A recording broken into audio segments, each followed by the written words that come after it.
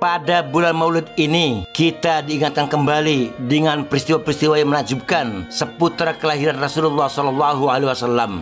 Di antaranya adalah pada malam menjelang kelahiran Nabi Muhammad Sallallahu Alaihi Wasallam, binatang-binatang ternak milik orang Arab Quraisy bisa berbicara dengan bahasa Arab yang fasih. Pada malam itu juga padamnya api kebesaran agama Majusi yang ribuan tahun tidak pernah padam dan peristiwa-peristiwa yang lainnya. Banyak sekali sejarah perjalanan Islam yang patut kita ketahui Kisah ini terjadi pada masa kenabian Rasulullah. Kala itu di suatu daerah hiduplah seorang penggembala kambing. Ia mengurus ratusan kambing dan domba. Setiap pagi pria itu membawa heran ternak yang diamanati kepadanya padang rumput dekat oasis. Namun pada suatu hari gembala itu kecolongan. Seekor serigala berhasil menerkam seekor domba yang lepas dari kerumunan domba-domba lain. Ia lantas segera mengejar serigala dan menakut-nakuti dengan ayunan tongkatnya. Domba yang menjadi buruan serigala itu bertubuh gemuk sehingga hewan karnivora ini sulit untuk membawanya dia kabur. Penggembala pun menarik paksa domba itu dari cengkeraman serigala dan tarik menarik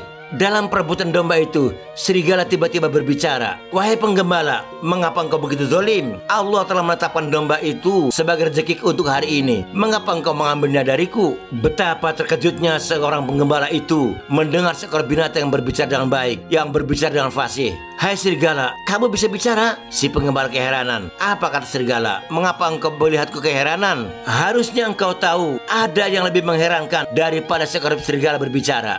Apa itu? Kata si pengembala penasaran. Jawab serigala, di kota Madinah ada seorang nabi dan rasul yang Allah utus untuk manusia, untuk sekalian alam. Namun banyak orang yang justru membangkang dan enggan beriman kepadanya. Bukan hanya itu, bahkan mereka memusuhi dan siapa meranginya. Nama nabi itu adalah Rasulullah Muhammad Sallallahu Alaihi Wasallam. Lalu pada keesokan harinya, si pengembala itu bertekad pergi ke Madinah. Ia bertekad untuk menjumpai langsung sosok yang diceritakan serigala kemarin. Dalam perjalanan tersebut, tentunya tidak mudah. Naik turun tebing terjalan jauh. Akan tetapi tekad yang kuat si penggembala itu menempuh perjalanan dengan penuh kesabaran. Hingga akhirnya dia sampai di Madinah. Lalu dia bertanya kepada warga setempat akhirnya dia sampailah di depan Masjid Madinah Singkat cerita, ia lalu berhasil bertemu dengan Nabi Muhammad. Kepada beliau, ia menuturkan kisahnya hingga sampai di Madinah. Rasulullah Shallallahu Alaihi Wasallam membenarkan kisah penggembala itu. Artinya, beliau tak heran jika ada seekor binatang yang terang-terangan menunjukkan rasa iman kepada Allah dan Rasulnya.